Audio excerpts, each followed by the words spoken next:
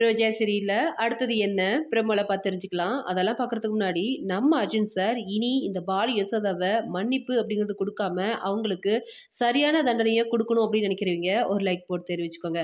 நம்ம எல்லாரும் எதிர்பார்த்துட்டு இருக்கிறதும் அதே தான் ஏன்னா வீட்டுக்குள்ளாரே இருந்துக்கிட்டு இந்த பாலி யசோதா நம்ம அர்ஜுன் சார் ஃபேமிலிக்கு ரொம்பவே கஷ்டத்தை கொடுத்துட்ருக்காங்க நல்லா தான் வச்சு பார்த்துட்டு இருக்காங்க இந்த பாலி யசோதாவை நம்ம அர்ஜுன் சார் ஃபேமிலியில். இருந்தாலும் நம்ம ரோஜாவுக்கு கொடுக்குற அன்பு பாசம் அவங்களுக்கு கொடுக்குற மரியாதை இது எல்லாம் தனக்கும் வேணும் அப்படிங்கிறதுக்காகவும் இவங்க இந்த ரோஜாவை வீட்டை விட்டு துரத்தணும் எப்படியாவது இவ இருக்கிற வரைக்கும் நமக்கு இந்த வீட்டில் நிம்மதி இல்லை அப்படிங்கிறதுக்காகவும் தொடர்ந்து நம்ம ரோஜாவை பழி வாங்குறதுக்கான எண்ணத்திலேயே இருக்காங்க. இதுக்காக யார் வந்து நம்ம ரோஜாவுக்கு கெடுதல் பண்ணுறாங்களோ அவங்களோட சேர்ந்துக்கிட்டு ஒரு டீமாக வேலை பண்ணிட்டு இருக்காங்க.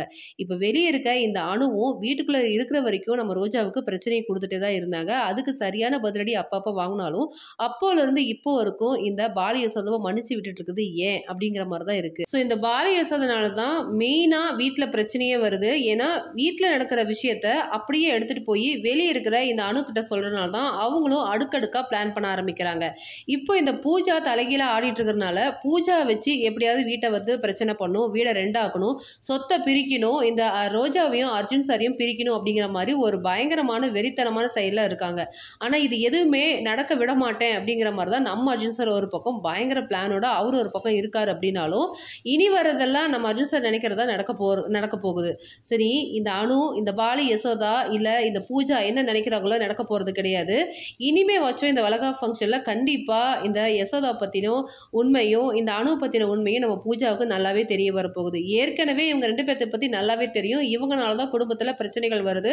ரோஜா அக்காவுக்கும் அர்ஜுன் சாருக்கும் இவ்வளோ பிரச்சனைகள் வருது அப்படின்னா அந்த பாலி யசோதனாலையும் வெளியே இருக்க இந்த அணுனாலையும் அப்படிங்கிறது நல்லாவே தெரிஞ்ச இந்த பூஜா எதுக்காக இவங்களோட டீமாக சேர்ந்துக்கிட்டு வேலை பண்ணணும் அப்படிங்கிறதெல்லாம் ஒரு கேள்விக்குறி தான் பூஜாக்கு என்னன்னா எனக்கு இந்த வீட்டில் மரியாதை வேணும். ரோஜா அக்காவுக்கு கொடுக்குற அதே மரியாதை எனக்கும் வேணும். நானும் இந்த வீட்டில் ஒரு மருமக தானே அப்படிங்கிறத எதிர்பார்க்கறது ஒரு நல்ல விஷயம் அப்படின்னாலும் அதுக்காக ரோஜா மேலே இவ்வளோ ஒரு வெறித்தனமான ஒரு கோவத்தை காமிக்கிறது எதுக்காக அப்படிங்கிறதெல்லாம் அடுக்கடுக்கான ஒரு கேள்வியை எழுப்புதுன்னு சொல்லலாம். ஸோ உரிமையை தாண்டி இப்போ நம்ம ரோஜா நல்லா இருக்கக்கூடாது அப்படின்னு நினைக்கிறதுல இந்த அணுவுடைய கேங்கோட சேர்ந்து இப்போ இந்த பூஜாவும் சேர்ந்துருக்காங்கன்னு சொல்ல முடியும்.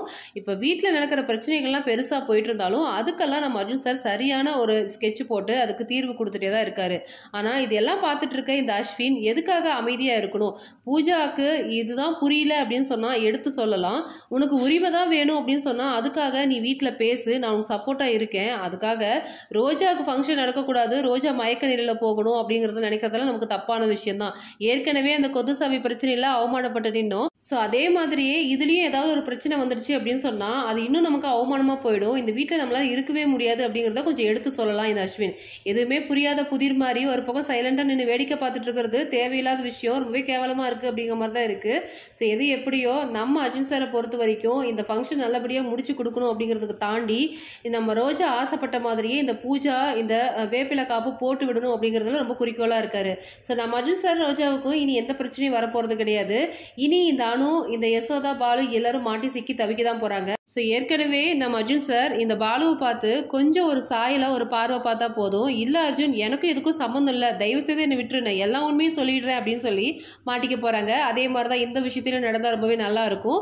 அது மட்டும் இல்லாமல் இந்த பாலு யசோதாவை இந்த வீட்டில் இருந்து வெளியே அனுப்பணும் அப்படிங்கிறத எதிர்பார்த்துட்டு இருக்கோம். அதெல்லாம் நடக்குமா? வெயிட் பண்ணி பார்க்கலாம். சப்ஸ்கிரைப் பண்ணிக்கோங்க.